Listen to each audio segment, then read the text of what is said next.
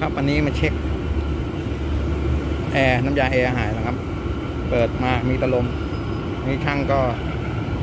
อัดนะครับ เปลี่ยนสายนี้ไปรั่วตรงคอตรงนี้อันนี้เปลี่ยนใหม่แล้วนะครับ เนี่ย ตอนนี้อัดอัดลมเข้าไป อยู่ที่สองร้อยห้าสิบนะครับนี่เดี๋ยวดูได้ว่าเกจตรงนี้จะจะลดไหมเนี่ยตรงนี้ถ้าลดแสดงว่ายังมีรอยรั่วอยู่นะครับ เช็คจุดรั่วนี่ครับเนี่ย คอมเพรสเซอร์ เติมเติมลมนะครับ อัดเข้าไปในระบบ ตอนนี้ในระบบไม่มีน้ำยาแอร์แล้วเดี๋ยวลองดูนะครับ ตอนแรกเติมวันแรกผมมานะครับ เติมน้ำยาแอร์ล้างตู้แอร์นะครับ หารอยรั่ว แต่มันไม่เจอคราบนะครับมารอบที่สองมันเจอคราบนะครับเดี๋ยว ลองดูน้องน้องถอดสายแอร์ออก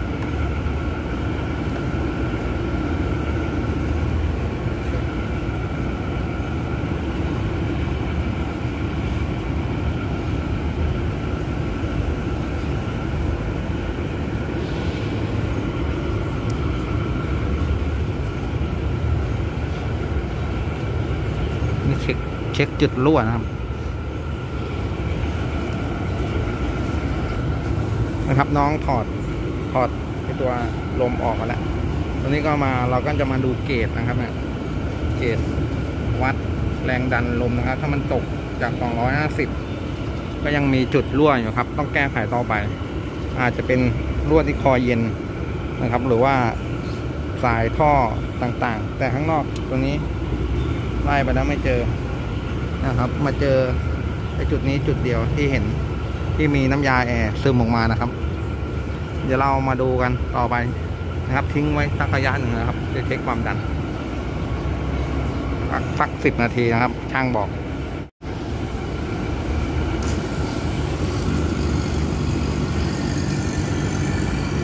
นะครับสรุปว่าไม่รั่วเดี๋ยวให้น้องแวกสูญญากาศเครื่องแวกนะครับเรียก แว็กแว็กสูญญากาศนะครับทำระบบให้ภายในให้ในในระบบเป็นสูญญากาศ คือไม่ให้อากาศอยู่ในระบบแอร์นะครับเพราะแอร์มันเป็นระบบปิดนะครับ เดี๋ยวก็ทิ้งไว้สักพักนาทีนะสักสิบนาที รอให้มันดูดอากาศภายในออกหมดก่อน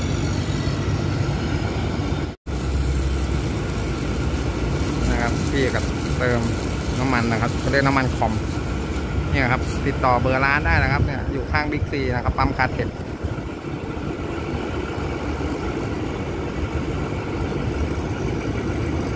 นะครับกำลังแว็กอยู่เติมน้ำมันคอมเข้าไปในระบบนะครับ เพื่อการหล่อเลื่อนนะครับ เวลารั่วมันจะได้เห็นด้วยว่ารอยรั่วจุดไหน เพราะน้ำมันคอมมันจะออกมาตามตามซีนตามโอลิงข้อต่อต่างๆนะครับนี่ยนะอันนี้ก็ยังแว็กอยู่ครับ ให้มันติดนะติดลบเนี่ยครับ มันจะติดลบสามสิบทำทำสุญญากาศ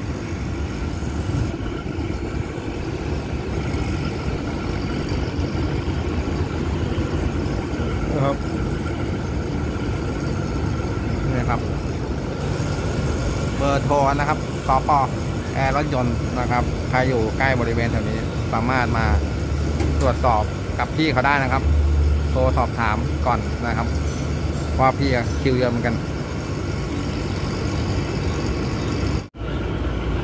นะครับก็แวกน้ำยาแอร์เสร็จแล้วเอ้ยแวกสูญญากาศเสร็จแล้วนะ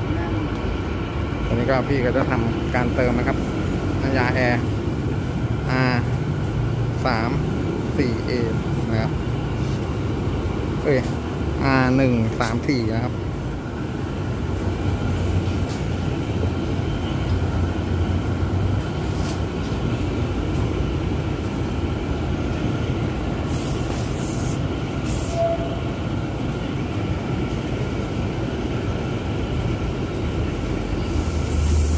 นะครับทำการเติมเข้าไปในระบบนะครับเกณฑ์จะขึ้นแล้ว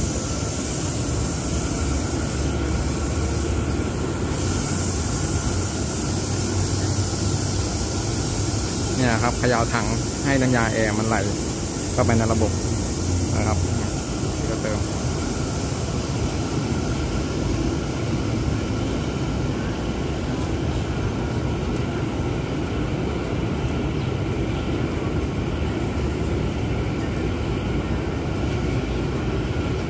นะครับมาได้สักสักอยู่ที่ประมาณหกสิบเจ็ดสิบแปดสิบนะครับ ก็เป็นสตาร์ทเครื่องนะครับ เปิดแอร์เปิด AC นะครับการกล้องทำงานแล้วเปิดเปิดระบบ AC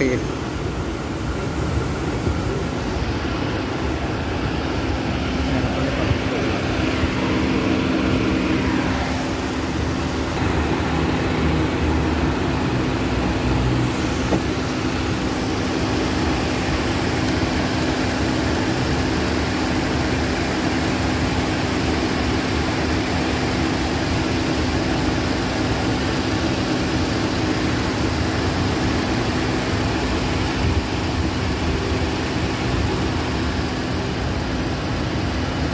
อ่าใกล้แล้วครับเนี่ยหัวทายยังไม่เกินสองร้อยนี่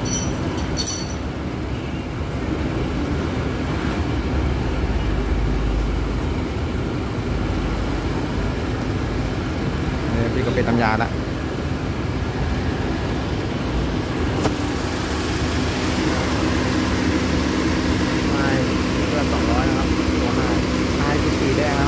สีน้ำเงินเรามาดูอุณหภูมิภายในรถนะครับ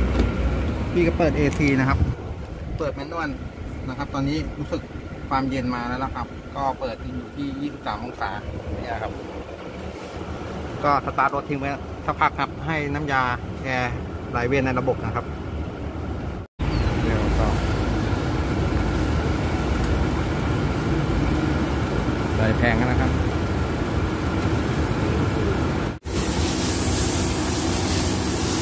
นะครับตอนนี้ถอดสายออกไปแล้ว เช็ครอยรั่วนะครับเนี่ยทั้งหมดทุก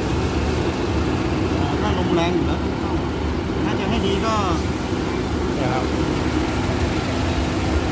ก็ เอาอะไรกันไลหรือน้ำสบู่ก็ได้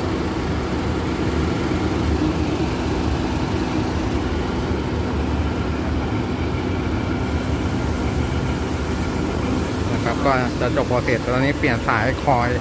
ก็เรียกอะไรสายท่อร้อนอะเส้นลมร้อนนะครับ ไม่มีร้อนกับเย็นรั่วเดี๋ยวลองดูนะครับ จะใช้ได้สักกี่อาทิตย์ดูดิมันจะรั่วอีกไหมนะครับ ถ้ารั่วก็ต้องมี เปลี่ยนคอยนะครับ เปลี่ยนคอยเย็น